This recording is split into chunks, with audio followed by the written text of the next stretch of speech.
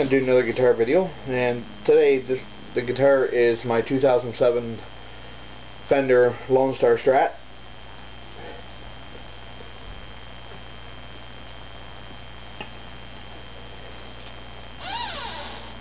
Sorry for the squeaky chair. In 1996 uh, Fender brought originally brought this guitar out. Uh, it was available in, in a lot more colors and everything than it, than it was in 2007. It also came with 22 frets and was available with a maple fretboard. This one is a made in Mexico and it only came was only available the 21 fret neck and rosewood and this vintage tint neck that I really don't like. I don't like the vintage it doesn't look vintage to me, it looks orange anyway, the guitar is a two-piece alder body. Your standard uh, modern C-shape uh, profile maple neck with skunk stripe. Standard Fender sealed tuners. Uh, 21 medium, I think they're medium or medium medium jumbo frets. Uh, this guitar originally came with uh, the tortoiseshell brown pickguard. I liked it for a little while, but I, I eventually changed it because I wanted the guitar to match everything. This what I've had this guitar since 2007. It was issued or uh, made in 2007, and I bought it in 2007. Uh, the color was Olympic white, and so far it's it's starting to yellow. The finish, I think it's cool. And uh, the pickups that came in this guitar were a Seymour Duncan Pearly Gates in the bridge, SHPG1, and two Fender Texas Special pickups. I've changed all the pickups. Uh, these two are, that's a, a Seymour Duncan SSL3 and a Seymour Duncan SSL5. And I recently changed the the Pearly Gates to a Seymour Duncan uh, Duncan Distortion SH6 and now this guitar really screams. Not like it didn't scream before, but now it's got more output and everything. Uh, I've got uh, GHS Infinity 1050 strings on this. The first 4, 5, and 6 are black. They got a, a coating on them. And yeah, I like my little bullet hole decals. My youngest son gave me the idea of where to put them. He said, Dad, put them on your, on your guitar, so I did. And okay, um, but anyway, uh, this guitar has gone under a few mods. Like I said, that I changed the pickguard to the pearloid, pearloid white. Changed the knobs to knurled steel with the pearloid white buttons on top, which looks really cool. It matches the whole guitar that way. Uh, American uh, Fender American string trees. I don't know why I put them on. I just wanted to it up a bit. And I also changed the neck plate to to the half neck plate. But as you can see, the the color difference between the back cover and the guitar body itself, that's fading. This is on the bridge pickup. So I'm on a clean channel on my Fender.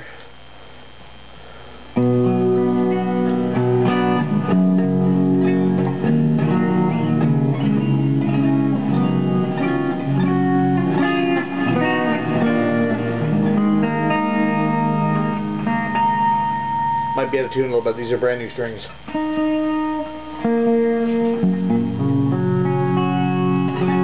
That's okay.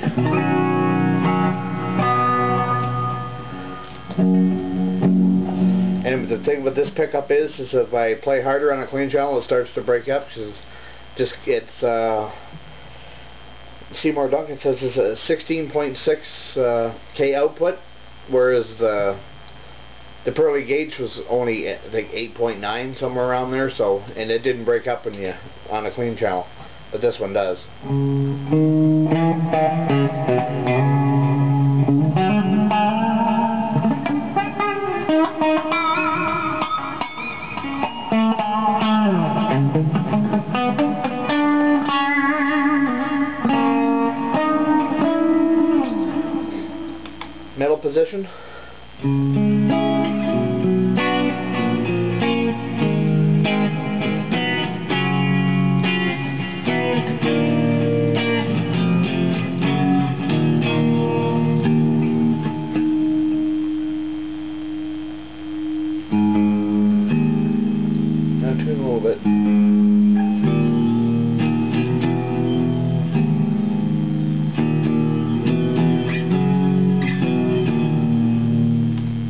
position number four or number two, whichever way you look at it. I I count my positions from the bridge, not the neck.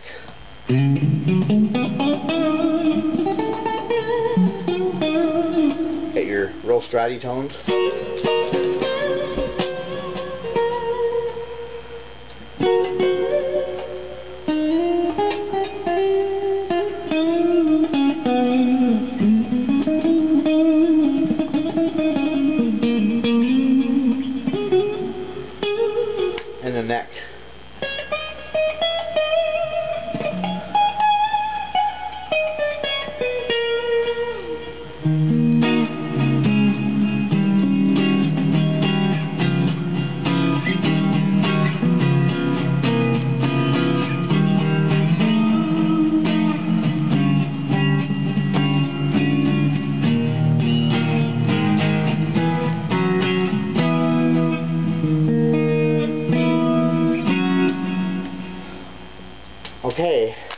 The bridge and we'll go to a a rock punch type tone. Back on the bridge.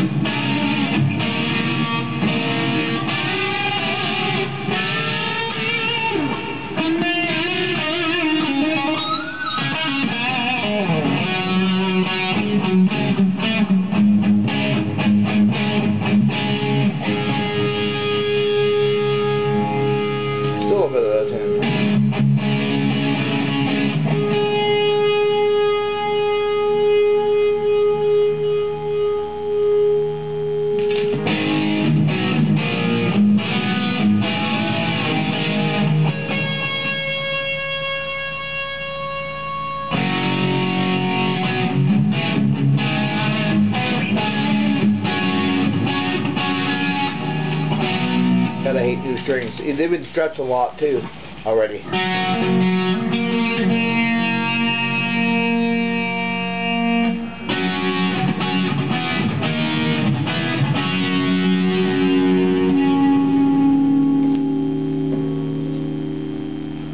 Okay, we'll go to a a metal tone and then plug straight into my amp too.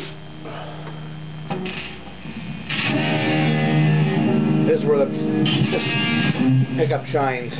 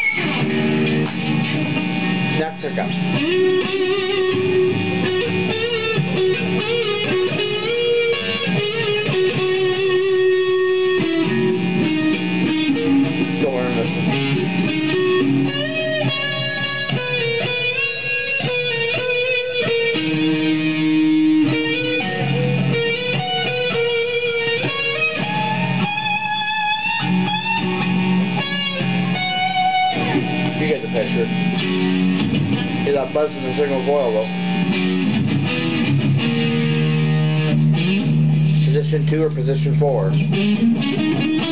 I'm canceling.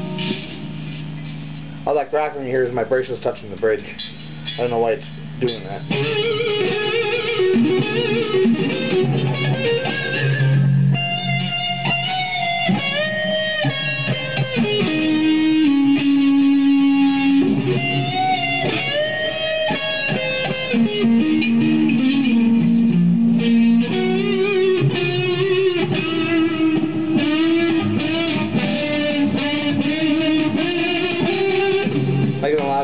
Trying to play anything, I'm just noodling around.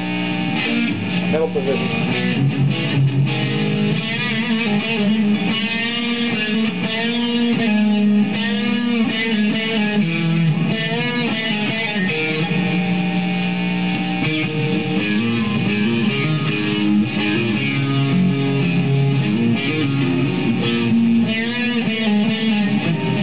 Led Zeppelin. I just happened to know that.